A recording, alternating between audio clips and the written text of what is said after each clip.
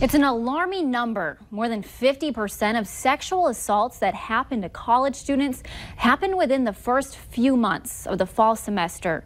That's why September is National Campus Safety Awareness Month. So what can you do to make sure your students stay safe at school?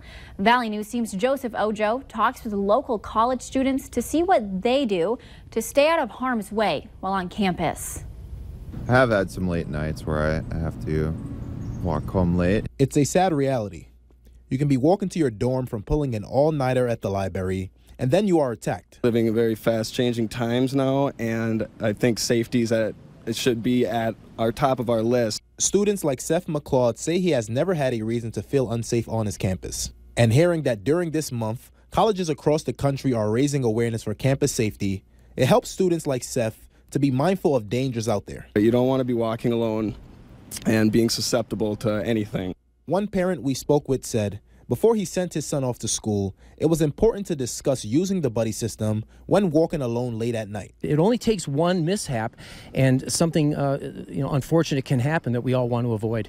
And several other students tell us they practice being vigilant. And usually I just um, have my phone out or look for campus police, something like that, to kind of remind me of safety. While the campus has many safety resources on hand, Alex Sturwalt says there are little tips students can practice.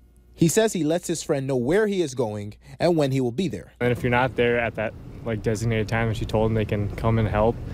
Other than that, you just you can walk with someone. I always have a buddy if you're walking late at night. Other safety tips mentioned by students included staying off your phone and being alert, and also taking one of your headphones out your ear to know your surroundings. We can't be uh, too aware of, uh, of safety, and uh, it's, it's important that uh, the campus uh, takes safety very seriously and to instill that in the student body. In Fargo, Joseph Ojo, Valley News Live.